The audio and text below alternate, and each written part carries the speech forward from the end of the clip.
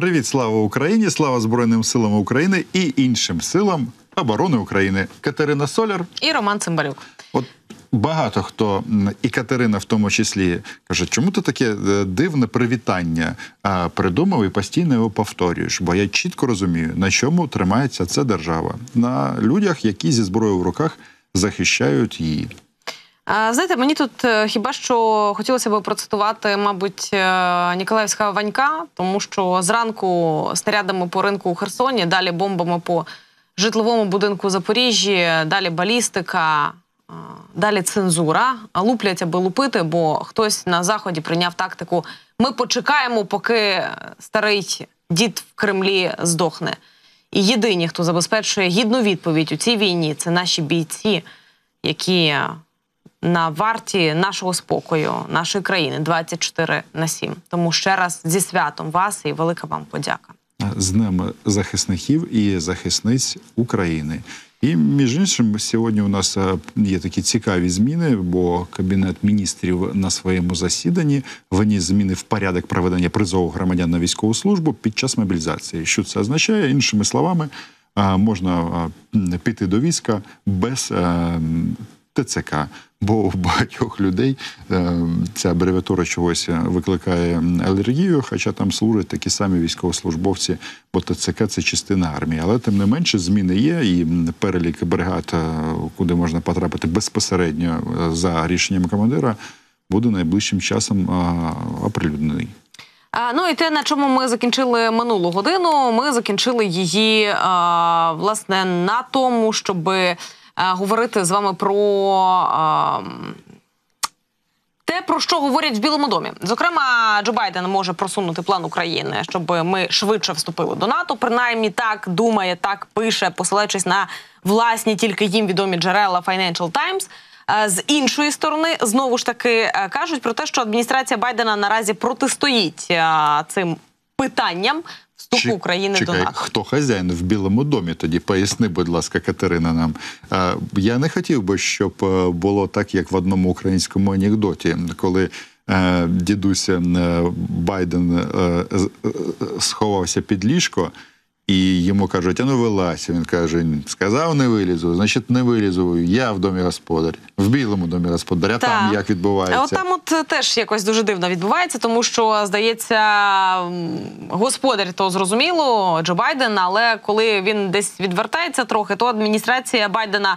Е, займається тим, що починає протистояти його діям або його вчинкам, або його е, думкам, або Е, висловлюванням. Справа в тому, що там кажуть, що побоюються, що якщо Україні дадуть дозвіл доєднатися до НАТО, то відповідно це спонукатиме Росію до ще більшої ескалації війни. Хочеться, звісно, запитати, куди ще більше. Е, має бути ескалація, але тим не менше, американські посадовці, як пише Financial Times, не були вражені планом перемоги Зеленського. Але ще раз нагадаю, що Україна існує не для того, щоб когось вражати або не вражати. Вона існує для того, щоб захищати себе, свої кордони, свій народ, і власне для того, щоб існувати, а не для того, щоб вражати посадовців в Сполучених Штатах і і жити своє так. життя. Е, своє прекрасне життя, мати можливість там в Америці теж якби хочуть жити своє життя. От ми хотіли би жити своє.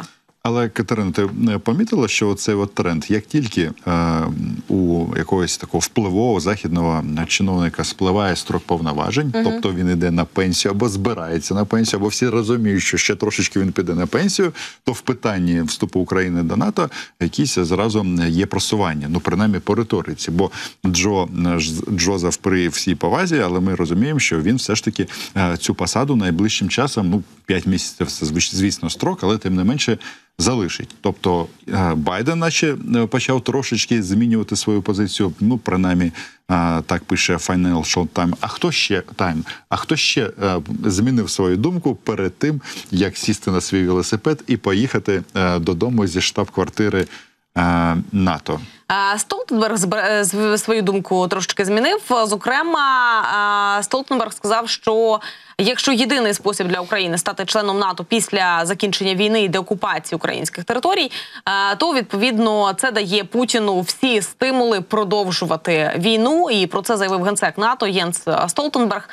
За його словами, союзники по НАТО мають вирішувати, чи можна запросити Україну до членства з окупованими територіями, але членство в альянсі може стати способом забезпечення міцного миру для України. От в Білому домі або ж там да в кулуарах Білого дому, або в коридорах Білого дому говорять про те, що це може стати ескалацією. То Столтенберг каже: так, значить, наостанок я скажу.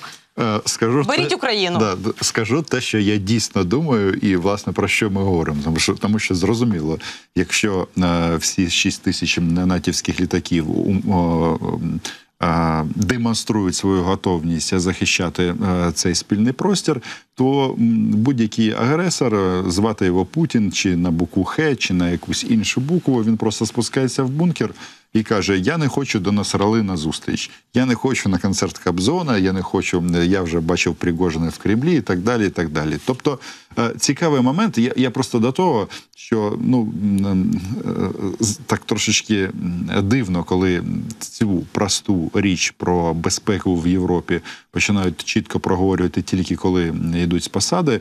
Але ну все одно якісь зрушення є. Ну, принаймні, от навіть е, Марк Рюте, він теж каже, що треба наближати Україну до НАТО, але йому задають е, просте і е, логічне питання в такій ситуації. Так, а коли це можливо? Коли це може статись?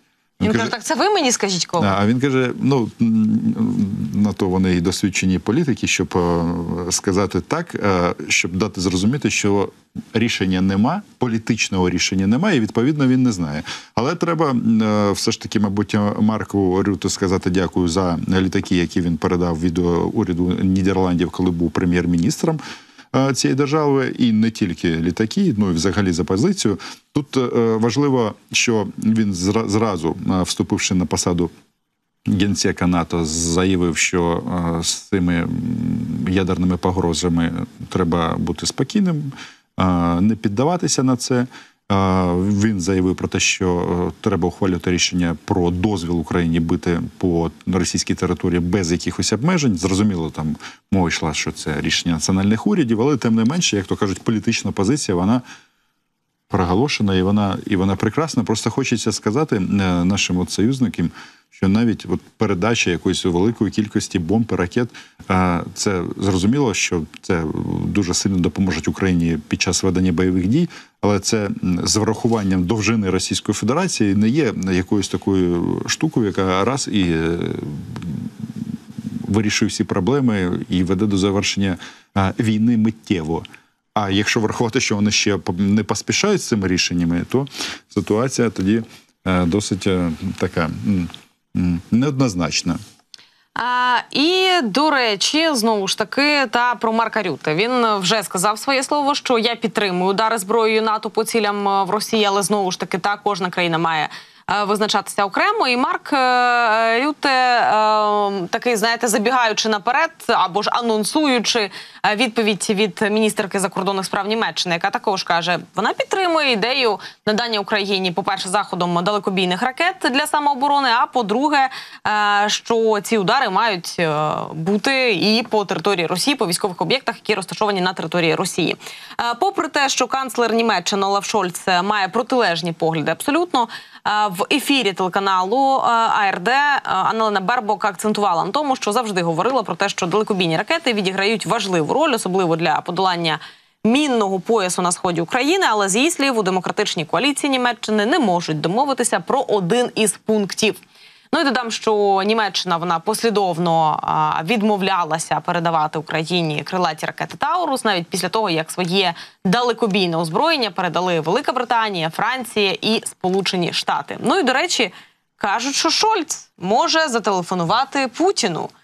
Може він в нього хоче спитати: Вов, ми можемо дати Україні дозвіл чи не можемо? Тут е, ну, сам факт е, цього повідомлення про це інформує видання Дітсайт українську. Це час. А, так, от, можливо, час він і може так статися, спливає у самого Шольця, тому що рейтинги у партії ну там не все гаразд, і неможливо навіть будуть зміни в коаліції. Це до того, що там ми згадуємо декілька тижнів назад. Там було такі повідомлення, що Шольц на фоні того, що рейтинг його партії почав знижуватись, подумав, що а може ми запропонуємо якийсь свій крутий план миру для України і спробуємо таким чином рейтинг та припідняти. Ну і от на зараз ми бачимо повідомлення про те, що можливо відбудеться телефонна розмова Олафа Шольца і Володимира Путіна. Вони між іншим не розмовляли аж цілих два з половиною роки. Що ж так, так, так, так. Як і весь цивілізований світ. Да, так, чекай, чекай. А що ж відбулося за ці два з половиною роки? А, повномасштабне Здається, якийсь там щось повномасштабне вторгнення. якийсь. А, конфлікт. виник. Е, Між іншим, е, я думаю, що. До цього треба так звичайно з, е, з цікавістю ставитися, але зазвичай, як би там не було, таки, е, як е, ну зрозуміло, що Таурусов ми поки не побачили, і тому ми відчуваємо, що Шольц не допрацьовує, але тим не менше, це людина, яка, яка на боці України і німецької зброї тут в нашій державі, яка допомагає нам боронити нашу державу, досить і досить багато. Про міжнародну політику ми з вами ще поговоримо цієї години а, з політологом. Але давайте повернемося до того, з чого ми розпочинали наш ефір, а саме е, до ударів е, чергових терористичних Росії по Запоріжжю і Херсону. Зокрема, е, з нами на зв'язку керівник прес-служби Херсонської ОВА Олександр Толконніков. Пане Олександре, вітаємо вас. Добрий вечір. Сьогодні ми вчергове бачили е, удар Росії по Херсону, і цього разу це було по ринку. Розкажіть подробиці, як це все відбувалося? Чи був шанс у людей е, покинути місце удару? І знову ж таки, чи говорило щось про те, що там можуть бути військові об'єкти? Ми знаємо відповідь наперед, але тим не менше. Дійсно, близько 9 години росіяни е, одним пострілом е, з танку з лівого берега вбили шість людей, поранили ще шістьох. Троє з них знаходяться зараз в критичному стані в лікарні. Будемо надіятися, що вони виживуть. Е, Це був через цілеспрямований удар. Звичайно, там ніяких військових немає. Хто знає в Херсоні, можна не розповідати. Це удар був саме в аптеку. Е, на центральному ринку, де завжди багато людей. Там загинули люди, які торгували, ці бабусі, які зі своїх е, городів та садів там приносили щось продавати, щоб е, заробити якісь гроші, і вони загинули саме в більшості. Це люди похилого віку. Є така жінка, постраждавша 33 років. Але це жах. Дійсно, ми такого ми таке не вперше в Херсоні такі звірства росіян бачимо, але кожного разу волосся дибом стають, коли бачиш цих безневинних людей, на яких цілеспрямовано сп- ну, спрямували вони це дуло цього танку і випустили цей снаряд. Щодо того, чи могли б вони врятуватись, навряд чи, тому що сила удару з, з танку, снаряду з танку, вона дуже сильна. Тобто осколки розлітаються дуже е, з великою такою швидкістю, і летить снаряд дуже швидше, ніж там міномет або артилерія. Коли є там 5, коли почує вихід з лівого берега, є можливість десь знайти укриття. В тебе є 5-10 секунд від 5 до 10, то тут летів снаряд дуже швидко, мабуть, 3 секунди. Він був прильот. Це єдиний снаряд був саме о 9 години, коли е, всі е, згадували і віддавали шану нашим захисникам. Таким чином вони продовжують мститися херсонцям за те, що вони їх тут не прийняли. Мабуть. Тобто каби, артилерія. Я розумію, що зараз це звучить дико, і волосся підіймається просто е, на руках, але тим не менше, ти розумієш, що там каби, артилерія це те, до чого звикли е, українці, якби це зараз не звучало. Та те, що Росія може і застосовує кожного дня. Удар з танку.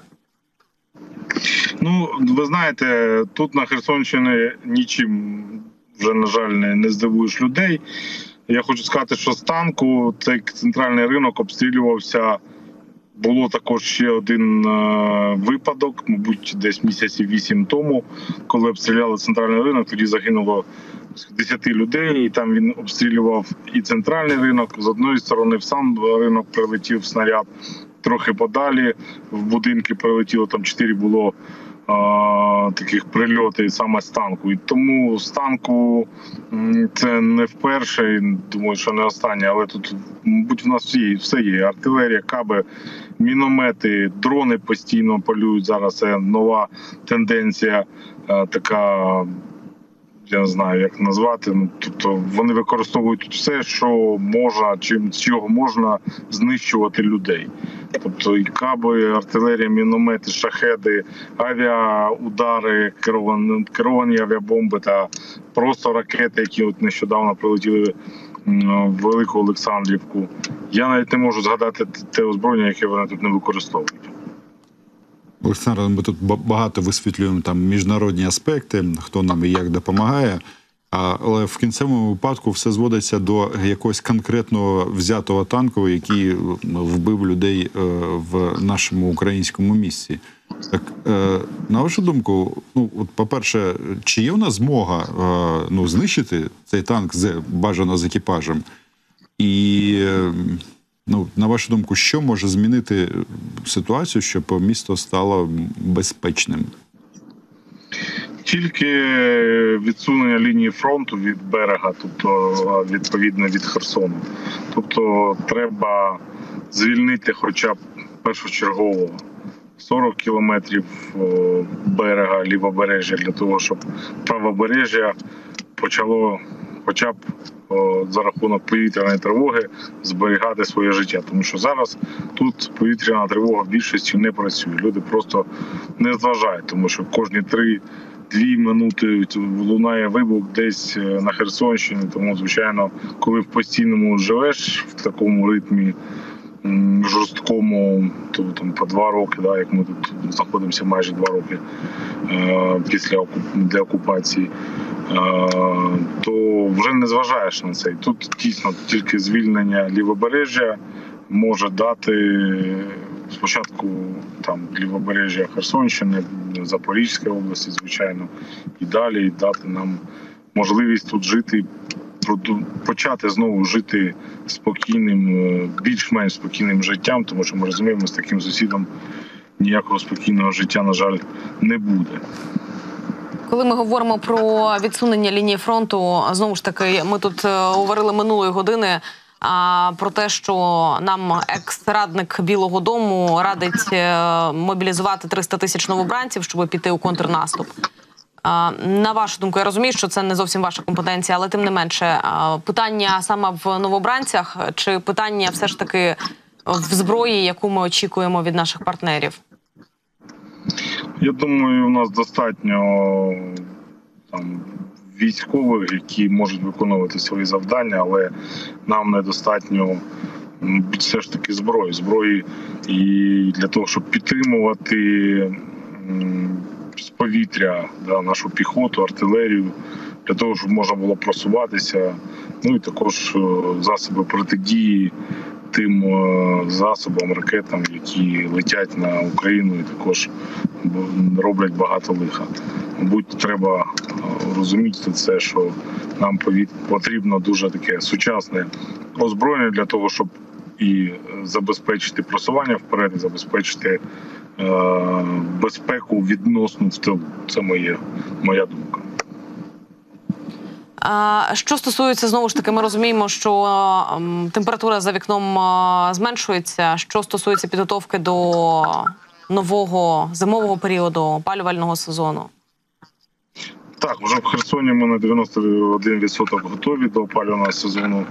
Але ми розуміємо, що нові удари росіян можуть зменшити цей відсоток, але знов таки ми будемо продовжувати це все робити для того, щоб Херсон був з теплом взимку. Є такі проблемні райони, такі як острів, де над землею йдуть е, тепломережі, і вони руйнуються від осколків постійних від е, ударів росіян. Ну будемо просити людей або там вивозити їх на цей час, якщо є у людей бажання, ми вже і зараз готові вивозити в більш безпечні в шелтери, які побутовані модульні містечка, де буде і тепло, і все інше. Є куди відвести. Що стосується прибережних зон, там 40 населених пунктів без світла, і без газу. Туди зараз першочергово від, підвозимо паливну деревину, щоб у людей вже була вона, щоб вони могли, які залишились там е, на зимку, або планують залишатися, щоб були з е, теплом. Ну, якщо треба, також довозимо буржуйки. Це першочергово і також до по всіх правобережній Херсонщині для маломобільних, малозабезпечених, незахищених верст населення. Також плануємо надати деревину за, за допомогою наших міжнародних партнерів. Пане Олександре, дуже дякуємо вам за те, що долучилися до ефіру. Дякую. До наступної зустрічі в ефірі говоримо. Я сподіваюся, з більш приємного, легкого приводу це буде. Дай Боже. Керівник прес-служби Херсонської ОВА Олександр Толоконіков був з нами на зв'язку цієї години. Катерина, знаєш, от коли ми слухали нашого гостя в частині того, що потрібна перевага в повітрі, потрібно мати змогу атакувати з повітря. То е, цікаво, що ну держава працює, і є прикольні і позитивні новини. От е, прем'єр-міністр нашої держави говорить про те, що, наприклад, е, цього року, тобто до кінця року, ми виготовимо пів- півтора мільйона дронів.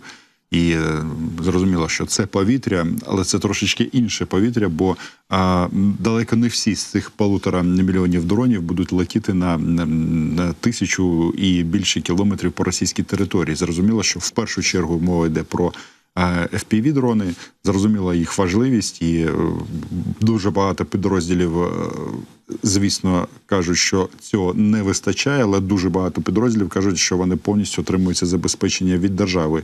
І ще е, прем'єр-міністр е, України Денис Шмигель заявив, що кожен другий боєприпас у зоні бойових дій вироблений в Україні. Адже виробництво вітчизняної зброї зросло втричі у 23-му році. А от до чого Сполучені Штати сказали нам про те, що нам не потрібен дозвіл, щоб завдавати ударів е, по території Росії. Там. Каті, це все так. Питання в тому, що е, те, що у нас виробляється саме, ми ні у кого і не питаємо дозволу. Ну, власне, вони так і сказали. Те, що є у вас, те, що ваше, те, що ви виготовляєте своїми власними силами, то вам не потрібен дозвіл для того, щоб завдавати ударів по території Росії. Міллер, Меттю Міллер сказав речник держдепу, сказав, що Україна є суверенною країною, може використовувати ту зброю, яку створила самостійно, а її дуже багато. каже, будь ласка, питань немає. Тільки немає е, е, власних літаків е, і відповідних ракет. Хоча в одному журналі я прочитав, що ці роботи ведуться, але знову ж таки. Через два з половиною роки великого вторгнення тут ці розмови про майбутнє вони зрозуміло класні і, корисні, особливо коли це стосується змін е, в номенклатурі зброї, яку буде використовувати наша армія. Але Херсон живе сьогодні, Київ живе сьогодні, Вугле, Вугледар і е, да, власне всі міста України. Мені насправді дуже цікаво, чи е, як от е, перевірити заяву про те, що половина боєприпасів на фронті це українські. Мені здається, якщо це так, то це колосальне досягнення нашого, нашої промисловості і держави. Я думаю, що критерій тут має бути такий: це, е, це наші військові. І я знаю, що багато підрозділів взагалі перейшли там навіть на стрілецьку зброю західного виробництва тих самих Нідерландів, про які ми сьогодні дуже багато і тепло згадували. І от е, хотілося б, можливо, це військова таємниця, але щось мені здається, тут може бути нюанси в цій інформації. А, можливо, якщо мова йде про ті е, боєприпаси, які скидаються дронами на голови е, окупантів, то всі вони українського виробництва, бо всі вони виготовляються нашими е, збройними силами України. А, збройними силами. Тобто Так. ти говориш про гаражі умовні, які існують фактично при кожному батальйоні БПЛА. І е, так е, Головне, щоб зараз на території Росії не сприйняли фразу гаражі як е, конкретне місце. Я- Це умовна назва.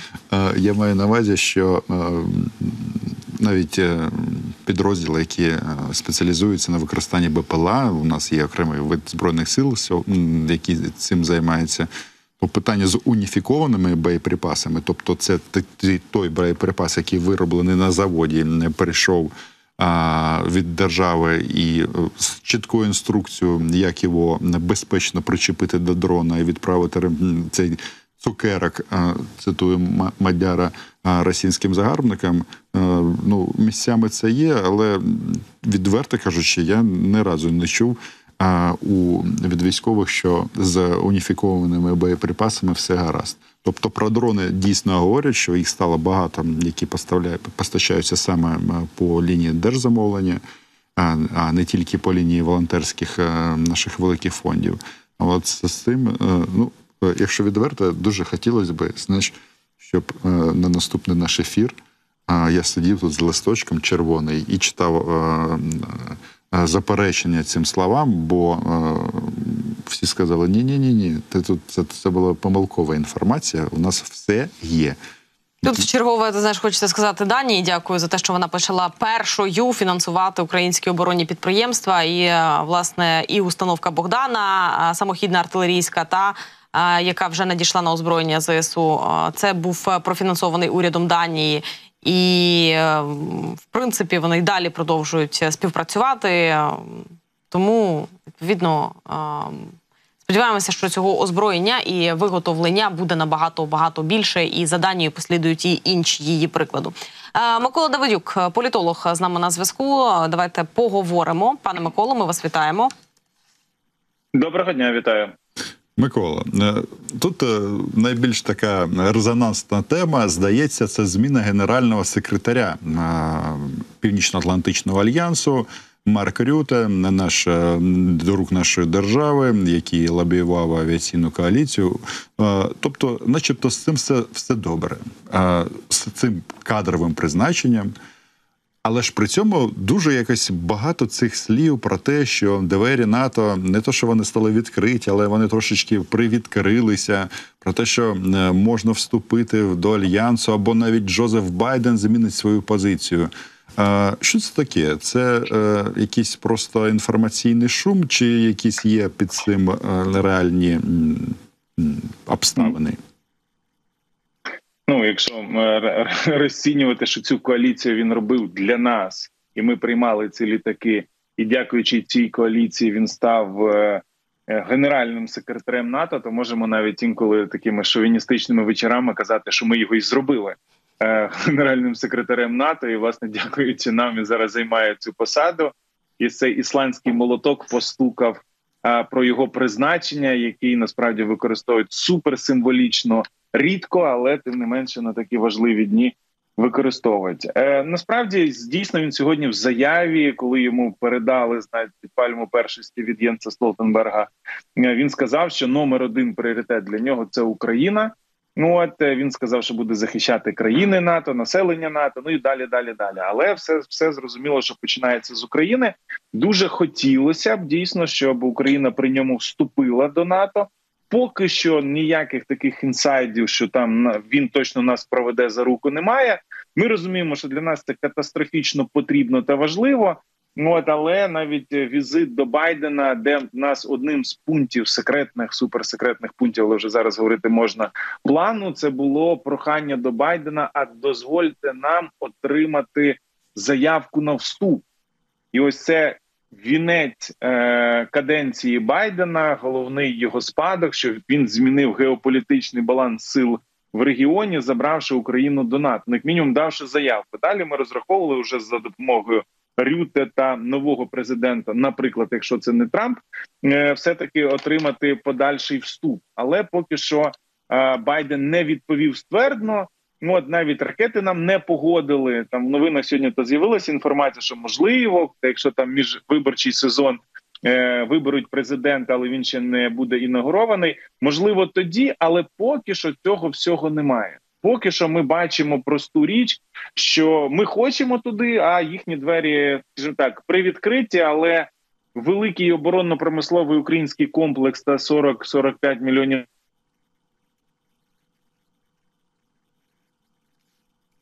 Е, Шостий пункт гарантує, що це можна вступати в НАТО, але без окупованих територій, тимчасово окупованих територій, так як це робила Північна Німеччина. Це е, Економіст писав позавчорашній, і Financial Times писав. Тому що всі західні аналітики сходяться, що ситуація складна, вона критична, треба міняти стратегію. Ну, От, ну і вступ це один з таких моментів зміни стратегії. Але поки що ну не видно так, щоб вони зараз змінили цей човен на 180 градусів і він поплив в сторону НАТО. Ем, я сподіваюся, ми побачимо ці які там алі паруса, під якими ми будемо до того НАТО наближатися. Можна і... на веслах теж. Головне, щоб був правильний рух. моторчиком. Ем, Тут ще одна резонансна справа. Литва подала в Гаагу на Лукашенка. Кажуть, зібрали докази злочинів режиму білоруського диктатора. І ми бачили ці, е, знаєте, мітання Лукашенка перед цією заявою, який е, почав говорити про те, що е, дай Бог, щоб війни не було. Який розказував про те, що пора вже якось е, зупиняти драчку, який е, розказував про те, що він в принципі з Україною е, готовий співпрацювати як і раніше на тих же умовах, е, коли до нього е, цей приїжджав е, якийсь невідомий нікому ватажок. Е, От, але тим не менше, і тут от, кажуть: якщо ти думаєш, що вийде без Гаги, то не вийде. Ну я думаю, що можна буде в Газі знімати кліп е, Алехандро Алісандро, і це якраз таки Гага по ньому плаче. Це 100%. От єдине, що не леді Гага, а саме суд. Ну от а на рахунок Алі, Паруса, знаєте, я думаю, що е, все таки галери нам більше е, чи ці чайки підійдуть, щоб ми трощили ворожі галери. Тому що Алі Паруса це ж якраз один з символів Петербурга, там де народився Путін. Тому я думаю, що Алі, Алі Паруса і російський флот це те, куди буде прилітати. А Україна якраз таки направиться в сторону НАТО. Щодо а, наших країн Балтії, загалом ви згадували Данію. Всі північні країни, над якими навісає загроза можливого нападу Росії, це країни, які надзвичайно дзеркально розуміють, що треба робити в цій ситуації, і підказувати їм не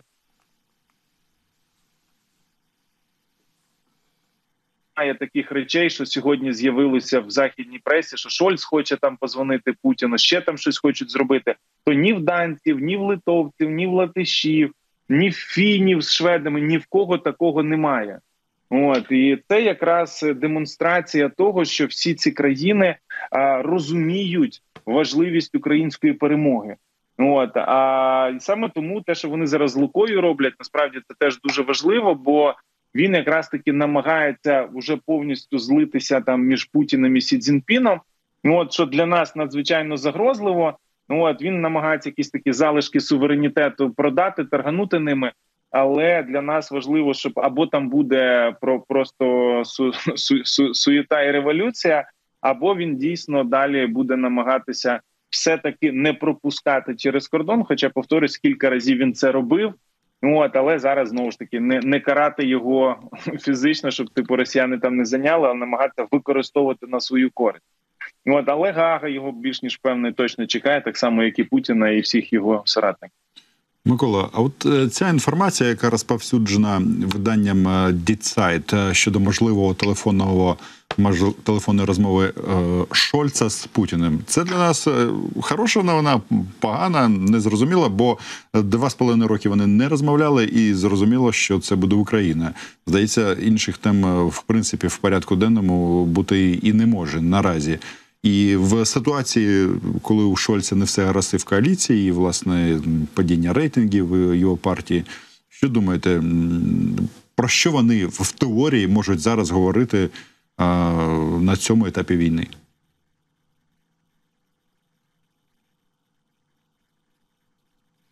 Так, у нас є певні проблеми з зв'язком, пане Миколо.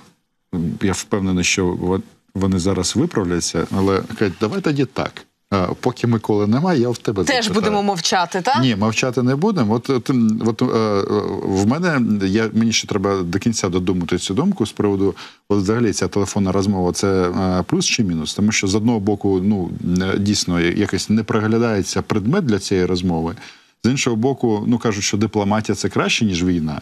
Або війна під час е, дипломатія під час війни, вона насправді можлива. Всі держави комунікують між собою. Не просто так всі західні посольства, да, там іноді когось е, показово з Москви виганяють, наприклад, як це було за Великою Британією, коли вони хотіли е, оголосити про те, що дадуть дозвіл, щоб ми атакували українськими ракетами британського поводження російську територію, вислали шістьох англійських дипломатів. Вони поїхали додому, ракети не дали, е, то можна, як то кажуть, повертатися. Але тим не менше, є це до того, що контакти між державами, навіть вор- ворогуючими, вони залишаються. Бо у нас зрозуміло, це реча страшна фаза війни, і щоб вони там не казали, що ведуть війну з НАТО, жодне посольство держав НАТО в Москві не закрилось. І тому от е, цікаво, е, про що вони там можуть говорити. Бо вочевидь хтось має е, моргнути. І якщо Шольц дзвонить, це що означає? Що Шольц моргнув? А якщо Шольц моргнув, ну тоді Путін просто на- наступить йому на, на гарлянку, і, і, мабуть, все. Ну було анонсовано, що цей е, дзвінок буде перед е, G20. Я не знаю, чи це якась була підказка в цьому ребусі, чи все ж таки це речі, які не пов'язані одна з одною. А, Микола Давидюк з нами на зв'язку. Пане Миколо, ми тут в роздумах Доброго дня ще раз. Да, ми- Бачите- ми в роздумах з приводу- перебувають наші розмови. Да, сп- ми в роздумах з приводу е, Шольца. Е, Імовірний дзвінок е, до Володимира Путіна. Це хороша новина чи так собі? І про що власне вони можуть говорити? Ну, якщо це хороша новина буде тільки якщо Шольц йому набере на пейджер. Оце єдине, що може прикрасити цей дзвінок, і якщо цей пейджер, до речі, буде куплений через угорську фірму прокладку. Ну це єдине, що може нас порадувати в даному випадку. Тим більше, що Путін теж використовує угорські фірми прокладки, тому побажаємо йому цікавих пейджерів від дзвінків з невідомих номерів. Насправді, я думаю, що ця новина мені так видалось зі сторони. Я читав її, що вона насправді е, закинута в медіапростір російським інсайдером. Там пише, що джерело в уряді, типу має щось на німецькому, але там є таке речення, якому кажуть: а лист запит від Берліна не надходив. Ну, що значить лист не надходив? Якщо це джерело в Берліні, то лист запит з Берліна не відправлявся. Не надходив він в Росію. І ось це якраз таки момент відповіді, хто був інсайдером цієї новини, ті, до кого він не надходив, тобто росіяни. Я думаю, що вони вступили з Шольцем в комунікацію через третіх осіб. Явно вони йому пропонують якусь співпрацю, координацію, враховуючи, що ростуть е, рейтинги двох проросійських партій: ультраправих, ультралівих, альтернативи для Німеччини і Вагенкнех. Але що треба розуміти, що вони намагаються його посадити на шпагат, і тільки він набере Путіна, Шольц програє. Ось це важливо розуміти. Друге, е, ну мотивація Путіна зрозуміла. Путін хоче е, легалізації. Ось дивіться, Шольц вже набрав, значить і Макрону можна. А раз Шольц і Макрон набрали, ну все, Європа визнала. А далі бізнес as usual. Ось цього не треба допустити. Треба зробити все можливе, щоб цього не сталося. Це перше. Друге, е, Путін шукає будь-якої легалізації, не то від Трампа, не то від е, опозиції, не то від Шольца. Він зрозумів, що як е, так званий лідер він повністю перетворився в терориста. Україна зробила з Путіна нерукопожатного навіть в більшості країн глобального півдня. Да, вони кивають, коли там за неголосування за Україну в ООН дають 10 камазів. Вони готові. Коли там підсипають комусь чемодан з кокаїном, привозять через російське посольство, а комусь 50 тисяч доларів. До речі, навіть такі цифри для деяких африканських країн 50 тисяч доларів. Ну от вони готові підігрувати, але вони не готові з ним зустрічатися. Вони не готові з ним працювати. Вони не готові його собою легітимізувати. Тому зараз йому треба відправити їм сигнал. що ось дивіться, німці дзвонять. Бачите, яка тут черга? Ну, От я думаю, що Шольц не зробить цієї помилки. От е, з Путіном був час спілкуватися до цього, але Путін нікого не чув. Він на всіх плював і точив ножа, щоб вдарити в спину в країну, яка спала спокійно о четвертій ночі. От ось це він робив. Зараз він розуміє тільки одну зброю. От нехай вивчить, як з німецькою перекладається слово Таурус. Нехай вивчить, як з англійською перекладається Атакамс, і далі по словнику. Ось цю мову він розуміє. І коли Україна б'є потужно по Росії, вони кричать: і дзвонять самі на захід і пропонують, де, де вони готові поступитися, де вони готові вийти, що готові зробити. Тому насправді не треба з ним говорити. Час розмов минув. Його треба перемогти на полі бою, вигнати з території України. А потім хто буде після нього з тим починати діалог. Ви згадали про Орбана, е, верніше про Угорщину. Тут е, знову ж таки говорять, що він по кулуарах Генасамблеї ООН ходив і е, збирав друзів миру. 15 е, друзів не Оушена, а Орбана назбирав і нібито організовують мирний саміт. На вашу думку, що це за ініціатива і наскільки вона може бути успішною в цих умовах? Я просто плутаюсь в фільмах. Це в 15 друзів Оушена. е, Ці Орбани вони просинаються в тайландському готелі, де Орбану набили тату і зробили пластикову операцію. От мені здається, що саме так завершуються такі вечірки Орбана за, за, за гроші його консервативних друзів в Штатах і не тільки в Штатах. Загалом дивний персонаж, тому що він сьогодні забув за роботу в Угорщині. Він сьогодні більше займається якраз таки просуванням чужих інтересів: то Трампа, то Китаю, то ще деяких там диктатур і автократів, в тому числі таких принизливих, як Росія. Я думаю, що все ж таки Орбан загрався в геополітику. Явно однією з сторін він буде точно покараний. Ну от, але зараз я думаю, що в нього ще є мінімум 40 з хвостиком днів, коли він буде літати по всьому світу, розповідати, що він готує форуми, розповідати, що він там робить багато якихось типу корисних речей. От, але насправді його просто використовують, і він насправді переоцінює свою роль. Він просто така маленька сервісна служба на рівні. Е, ну от в місті є, наприклад, служба по вивезенню сміття, там служба по підмітанню тротуарів. Ось це приблизно є рівень Орбана в, в цій геополітичній комбінації. А, Пане Миколо, дякуємо вам за коментарі. Дякую вам за запрошення. Ви бачите, Дякую. як би нам не заважали, а все одно ми е, свого добилися. Хотіли почути відповідь, ми її почули. До наступної зустрічі в ефірі. Микола Давидюк, е, політолог, був з нами на зв'язку цієї години. Я для себе зрозумів одне, що е, дзвонити Путіну можна, але тільки після того, як летять Тауруси на Москву. Е, алло, Тауруси летять. Зустрічайте. Або, е, або не так. Е, Як ти там? Тауруси долетіли. На, на, Насрала тебе вже зустрів чи ще ні? Ми там Тауруси відправляли. Ви вже їх зустріли чи ні? На цьому кажемо вам.